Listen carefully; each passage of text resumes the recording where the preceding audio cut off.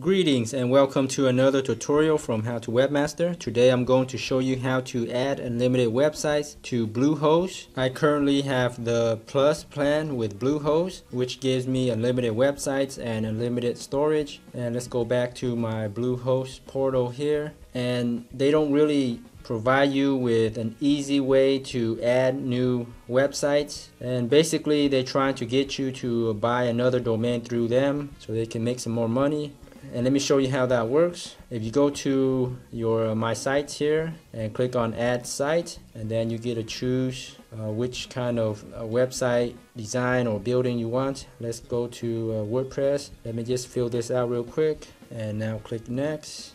And here the next step is choose a domain. And if you click here when I sign up with the Bluehost unlimited plan they gave me a free domain right here. And I chose mythemedemos.com and now to add a new site they don't give you an option to add a new domain directly from uh, adding the, a new site. You can choose to add to a directory folder but other than that you can't add a new website from here. So they make this step a little bit complicated. Let's click cancel. So what they're trying to do is get you to buy a new domain either transfer a domain to Bluehost or purchase a domain and the prices aren't cheap compared with others like Namecheap. And I'll leave a link down below for you guys to check out some top domain deals. You can get domains from a dollar anyways. I've already bought a domain from Namecheap right here demo.capital and to add a, a new domain or a new website to your Bluehost just change your name server right here to ns1.bluehost.com and ns2.bluehost.com and then make sure you select this right here to save.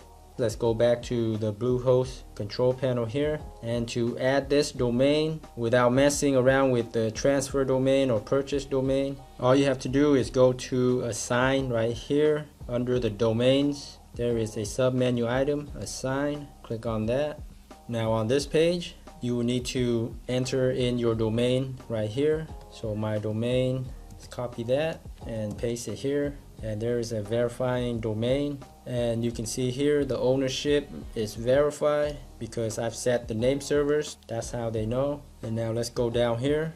And now you can choose either add-on or parked domain. And to make a website you need to use the add-on domain and down here is now Please specify a directory for your new add-on domain and by default it creates a new directory already and the subdomain is automatically created. It is required by a cPanel and now all you have to do is click on assign this domain. Okay that's done. Now you can actually choose to go back to here to my sites and you can create a new site this way. Go to add site. Let's go through this step again and click next. And you can see here in the domain drop down my new add-on domain is right here. And now when I install WordPress it will go to my new add-on domain. And if you want to upload to your new add-on domain website you can do that by going to advanced here.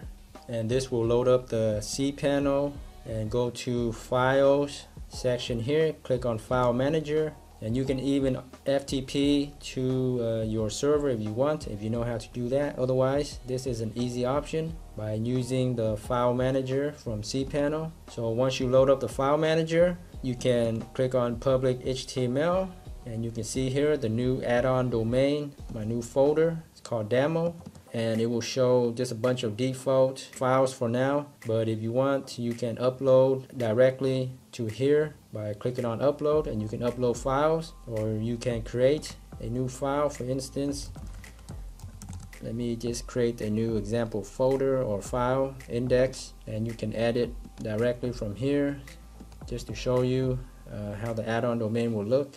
And I'm inside of the code editor and I'll just type this in real quick. Hello world. Save changes. And now if I go to my domain or my website okay just like that my new website add-on domain hello world just like that. Alright I'm back here in the Bluehost portal under my domains. You can now see that I have an add-on domain and you can assign unlimited add-on domains to your Bluehost account. This is not the same as transferring the domain to your Bluehost or purchasing a domain. This is an add-on domain. It is totally different. My domain is still registered at Namecheap or whatever registration company you're using like GoDaddy, so you still need to renew your domains at Namecheap or GoDaddy, whatever you're using. Okay, and that's how easy it is to set up unlimited add-on domains to your Bluehost and host unlimited websites to your Bluehost unlimited plans. I hope this helps. Let me know if you guys have any questions and comments. Please subscribe to How to Webmaster for more tips, tricks, and tutorials on Bluehost and